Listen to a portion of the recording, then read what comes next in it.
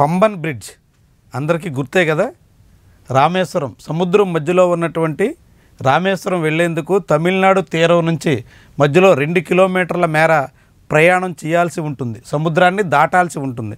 అందుకోసం సముద్రంలో పంతొమ్మిది వందల పద్నాలుగులో తొలి బ్రిడ్జిని నిర్మించారు. అప్పట్లో బ్రిటిష్ హయాంలో నిర్మించిన ఈ బ్రిడ్జిని రెండు వేల ఇరవై రెండు వరకు అంటే సుమారుగా నూట ఎనిమిదేళ్ళ పాటు వినియోగించారు. రెండు వేల ఇరవై రెండులో ఈ బ్రిడ్జ్ తుప్పు పట్టేయడంతో సముద్రపు నీరు కారణంగా తుప్పు పట్టేయడంతో బ్రిడ్జ్ మీద రాకపోకలు నిలిపివేశారు.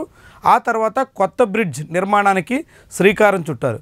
రెండు వేల ఇరవై ఒకటిలోనే మొదలైనటువంటి కొత్త బ్రిడ్జ్ నిర్మాణ పనులు ప్రస్తుతం పూర్తయ్యే దశలో ఉన్నాయి. సుమారు రెండు పాయింట్ సున్నా ఐదు కిలోమీటర్ల పొడవైనటువంటి ఈ వంతెన్ను ఐదు వందల ముప్పై ఐదు కోట్ల రూపాయలతో నిర్మించారు.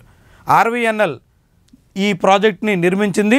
ఇందులో మధ్యలో షిప్పులు ప్రయాణించేందుకు తగ్గట్టుగా గతంలో కూడా పాత వంతెన మీద ఇక్కడ బ్రిడ్జ్ షిప్పులు వచ్చినప్పుడు అటు ఇటు జరిపేందుకు అవకాశం ఉండేది. సేమ్ అదే రీతిలో ఇప్పుడు ఈ బ్రిడ్జ్ని కూడా నిర్మించారు. గతంలో బ్రిడ్జిని అయితే అది మాన్యువల్గా ఇద్దరు వర్కర్లు ఉండి దాన్ని వంతెన్ని పక్కకు తొలగించాల్సి వచ్చేది. ఇప్పుడు అలా కాకుండా నేరుగా ఎలక్ట్రికల్ ద్వారానే మిషన్తో ఆపరేట్ చేసేందుకు తగ్గట్టుగా మార్పులు చేశారు. సో ఈ బ్రిడ్జిని అత్యాధునికమైనటువంటి బ్రిడ్జిగా చెప్తున్నారు. దేశంలోనే మొట్టమొదటి సీ క్రాస్ బ్రిడ్జిగా కేంద్ర ప్రభుత్వం చెబుతోంది. దీన్ని త్వరలోనే ప్రారంభించేందుకు సిద్ధమవుతున్నారు. ఈ వంతెన పూర్తయితే ఇక్కడ ఉన్నటువంటి రామేశ్వరంలో టూరిజం మరింత అభివృద్ధి చేసేందుకు రామేశ్వరానికి రాకపోకలకి అత్యంత సౌకర్యవంతంగాను అన్ని రకాలుగాను వెసులుబాటు ఉంటుందని రైల్వే మంత్రి చెప్తున్నారు. దానికి తగ్గట్టుగా ఏర్పాటు చేస్తున్నారు. చాలామంది టూరిస్టులు ఇప్పటికే రామేశ్వరం వరకు వెళ్ళేందుకు ఆసక్తి చూపుతున్నటువంటి వాళ్ళకి రైల్వే వంతెన మూసేయడంతో కాసింత నిరాశ తప్పడం లేదు.